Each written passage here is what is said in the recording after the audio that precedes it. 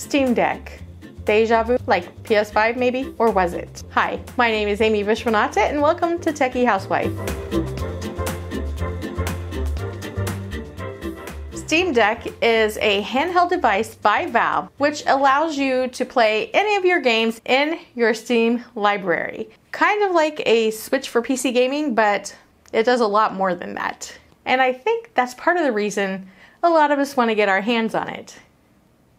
The initial pre order for Steam Deck was only available to existing users whose accounts have been active for a certain amount of time already. So, this is good because it curbed the scalpers who use bots to buy up the whole stock of whatever is available from doing that. And us regular people were able to actually get pre orders in, hopefully, if we're lucky. I think there's a lot of people trying to get it. So we made sure that we would remember to be in front of the computer at 1 o'clock to pre order the Steam Deck. At least try to pre order in hopes that we would actually be able to do it. First, we tried for the 256 gig Steam Deck. I figured that would suffice for any needs, give us enough space to kind of play with it a little bit and see what we could do with it. Unfortunately, that's where it started feeling like deja vu for the PS5 all over again. It would allow us to get it into the cart and then it would take us to payment method.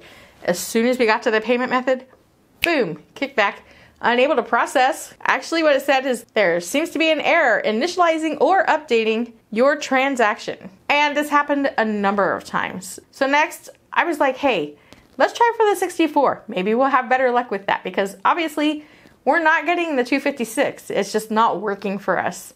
Once we did that, we progressed a little farther and I think that we did have a couple of kickbacks. We had some errors come up on the screen.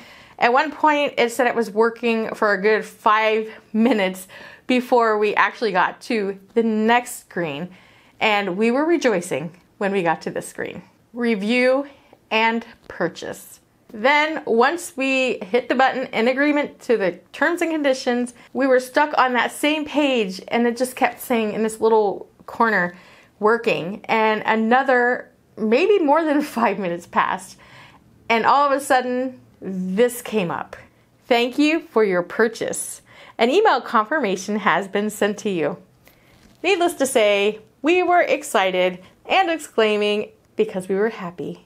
And immediately we messaged our friend whom actually was doing the same thing, having the same issues. I think it was crashing a little bit more for him, the website, and that's because so many people were obviously trying to get this pretty cool device. And also, thank you, Steam Deck. You really made it much easier for normal people to actually get their hands on such an awesome device. And my friend who actually had his in the cart and it looked like it was processing for him unfortunately was not able to get it. I think the site kept crashing or something, but ultimately he did not end up with his, which, sorry, I feel bad for you.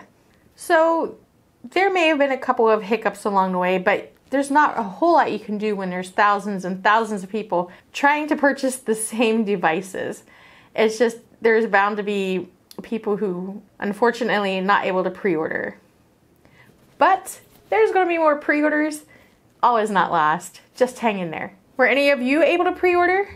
If so, which one did you get? That is all I have time for today. Thank you for watching.